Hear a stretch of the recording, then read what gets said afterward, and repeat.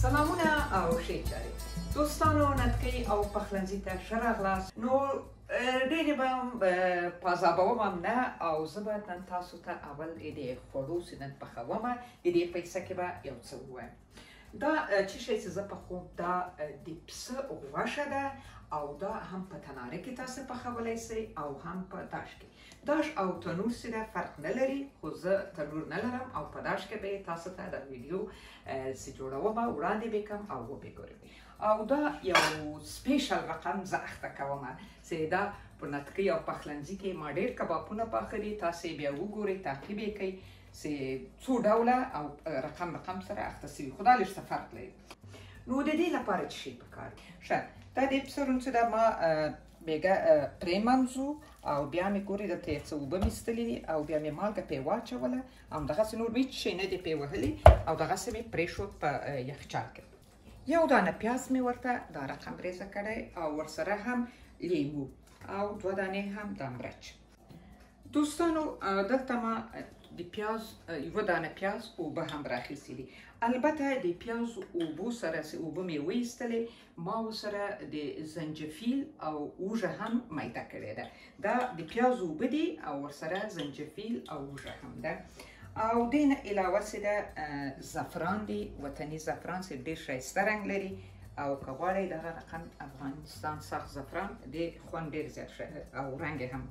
علاوه له زنجفیل تازه زنجفیل سي پیاست مې ورچولې دي دلته هم وچ زنجفیل د ادرک مې یو ورته یو د چای چمچه راخسته او دا هم مساله ده یو ډول د شمالي مساله ورته وایي مساله دار مرچ سیدا هم د نتکی او پخلنځي کې کتا سي ولیکي سي مساله دار او مرچ طریقه تاسو پیدا کولی شئ دا د شمالي برش ډیر خوندور دي دا مې ورته راخیستي دي او دا هم کورکمن او دا هم ګرمه مساله لیدونکو دا ټوله مې یوه وړه د چای چمچه راخیستې ده البته ګرمه مساله مې نیمه راخیستې ده او دلته تاسو وینئ تور مرچ او دا هم یو ډول شنې پاڼې سي دي او دا لونګ او دا هم د ګرمې مسالې او دارچینی دا شان دي دلته تاسو وینئ مسالې دي دا هم دا هم دولمایي سره مرچ وچ کړي او دا هم سیده توره زیره او دا هم سره مرچ او دا هم وچه دڼیا لومړی به غوښه په چاړې باندې د پرې کوي په دې سي هغه مواد ښه لاندې د غوښې هم جذب سي دې خواته به هم دغه څه کومه مې په چاړې باندې د سي پرې پرې شک شک کړله اوس به یو څه په دې کاغذي دستمال باندې وچکم اول لږ څه زعفران پې اچوم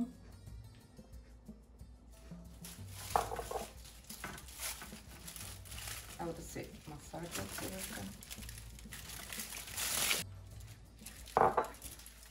زعفران چې ده هم رنګ ته او هم خوند کباب ډیر زیات ښه کوي حتما لیدونکو وطن کې خو زعفران ډیر دي تاسو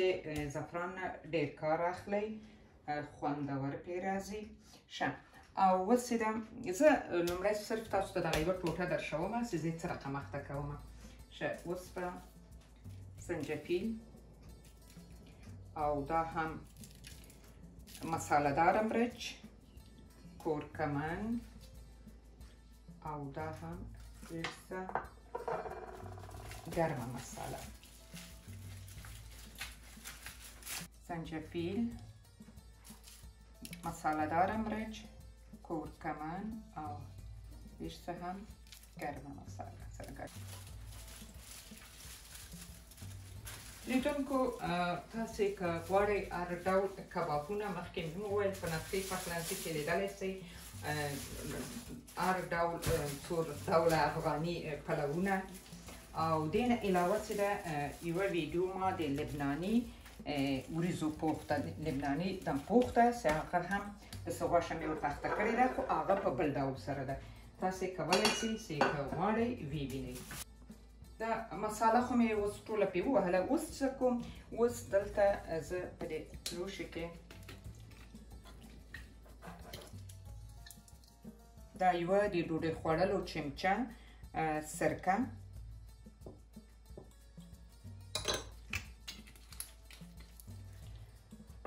دا هم سویا د سویا سوس دوستانو په کباب کې سره که په نور خوړو کې اچوي مالګې سره ډېر احتیاط کوي او علاوه له دې نه خوراک کې دا استعمالی شي د دې لپاره چې هغه کومه مصالې او شان چې موږ په خوړو کې اچو د هغه هغه خوند ښکارایي په خله کې د چا خبره احساس کوي او خوند ور دوه چنده کوي او دا سویا پوهیږي تقریبا 2500 کال مخکې چینایانو لا استعمالوله دغه وخت دا په دې جاپاني او چینایي خوراکو کې ډېري شه او یوه هم د دې ډوډۍ قاشق خوړلو ډکه هم سویا وراچوم او دې نه علاوه چې ده اوس دا د پیازو اوبه دا څه قطع کړی ده دوستانو دې خو ما مخکې مو وویل چې دا یوازې پیاز نه دي یو بل شي ته مو فکري که څه هم دلته زه دا بعضې مسالې کوم وچه دنیا او مرچ او زیره دا لږ وروسته وراچوم چې کله تاسو کباب کې پیاز لا وژه استعمالوي کوشش وکړئ چې هغه په آخري مرحله کې د کباب استعمال کړئ اول په داسې لکه ما څه دلته وکړو په مسالې او ریشانو یې اخته کړئ بیا پکې د وژې او پیاز پکې واچوئ دې په خاطر چې هغه پیاز او وژه چې ده دا ټول بوی هغه د مصالو ورخلی نو به تر ده چې دا ورسته مرحله کې استعمال شي نو د دې لپاره به زه یو څه دا وچ دنیا وسلا دلته وکاروم او دا تور زیره هم لږ بمرچ هم ورواچوم او دا هم دولمي وچ برچ بیا به د څه مساج ورکم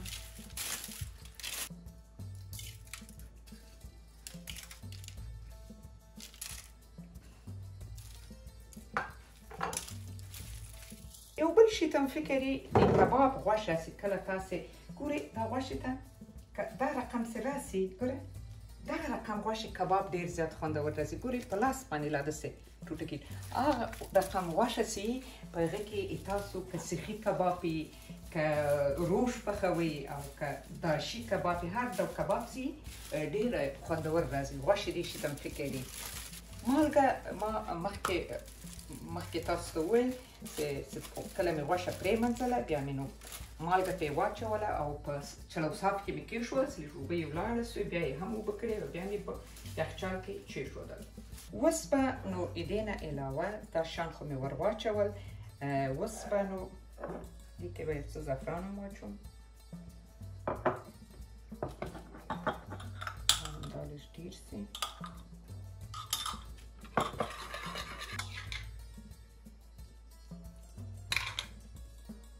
ډیر زیات شویزي د وږي بوی البته د ما به خوښیږي نه پېژم خو د هغه نه د سویا بوی هم ډیر زیات ښه ده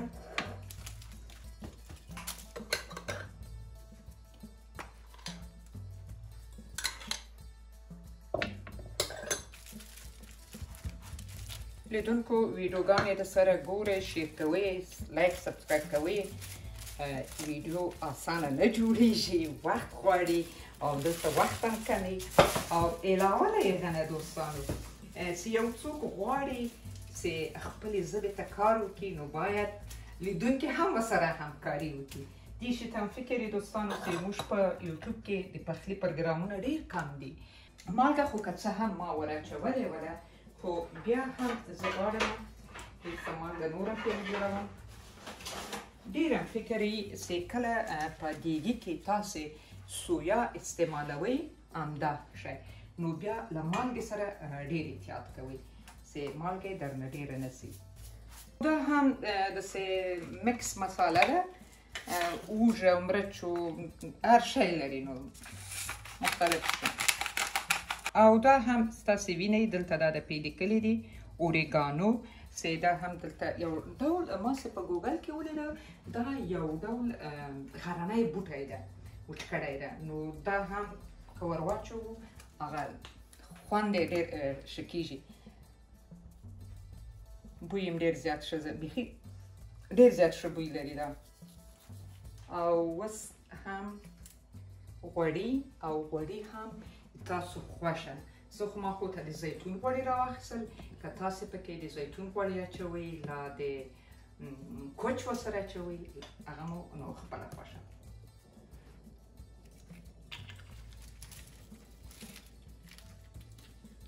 داسې لږ د لیمو اوبه به هم پرې واچوم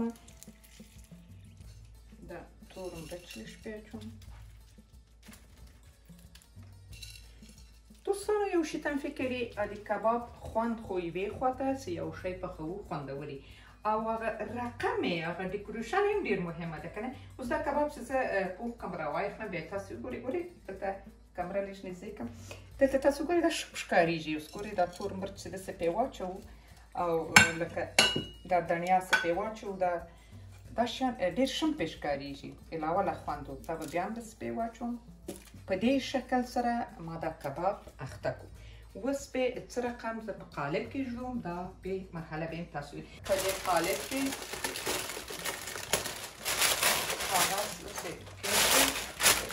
بکن کاغذ دا غوړه دا غوړ کاغذ سوځیږي نه بکن کاغذ ورته وایي او دا هم هغه دلته سیده دا پیاز همدغه سیو سره واچوي شاوخوا د لیمو هم د سیو سره کېږدوي دا لیمو دلته لاندې هم د سیو دکې ورکو شاوخوا د تروش راځي دا هم هغه مسالې شانسې دي دا شنې پاڼې دا هم داسې ورسره کېږدوئ دارچیني و دا شان چې دي دا مسالې دا یې په سر ځکه نه اچوم چې خوند یې ور ډېر هغه بوی خوند یې ور ووځي داسې له لاندې خو برسېره یې څه ده نه غواړم چې هغه کومې مسالې چې کوم ډول چې ما استعمال کړي دي چې هغه پکې خوند یې بدل شي پیاز او دا اوږه هم دغسې ورسره کېږدئ که څه هم اوږه مې ډېره ور اچولې خو بیا هم دا پای ورسره کېږدئ په دې شکل سره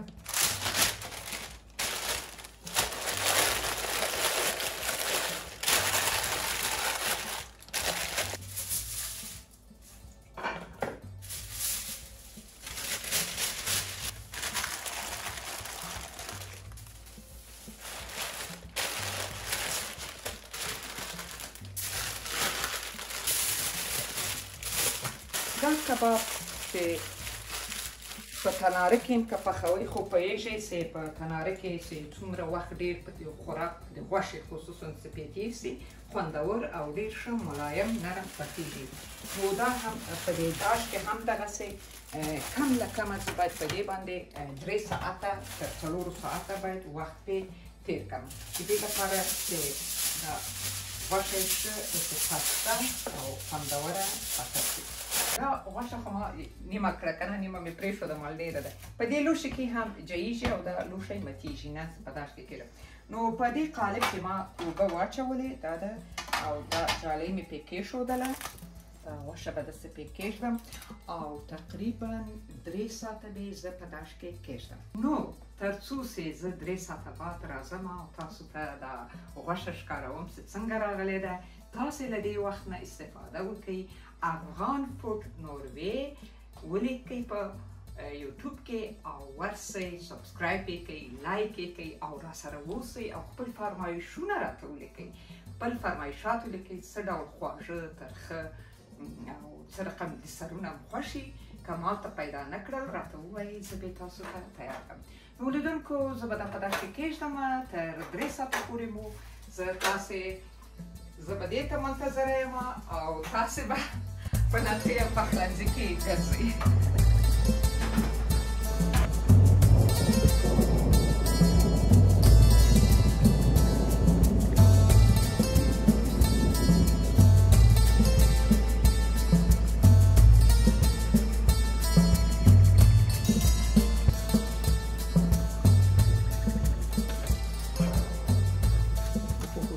بویزي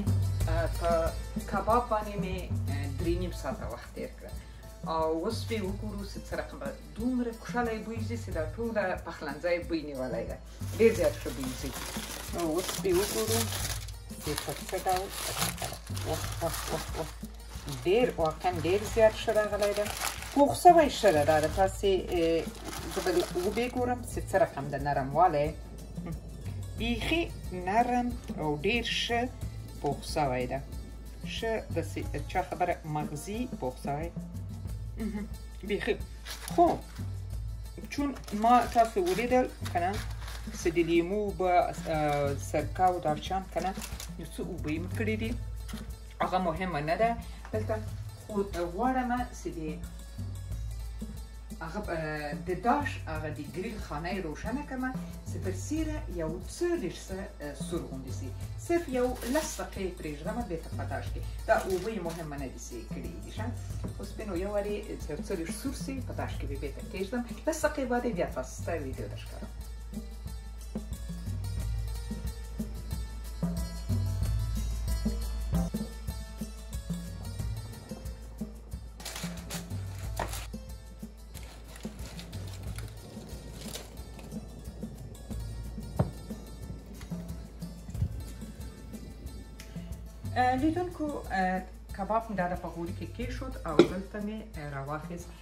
دلته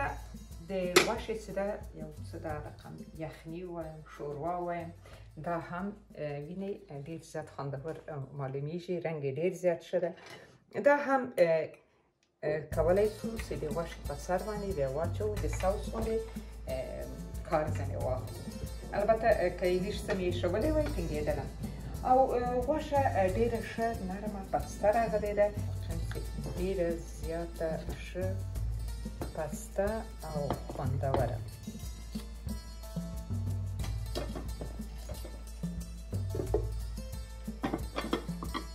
دلته تاسو وګینئ که پنجه غټه ده یو یو کوچنۍ راواخلم ګورئ ډېره ښه پسته نرمه علت یې چې شخه نه ده راغلې هغه اوبه ځینې شوې او بخار د اوبو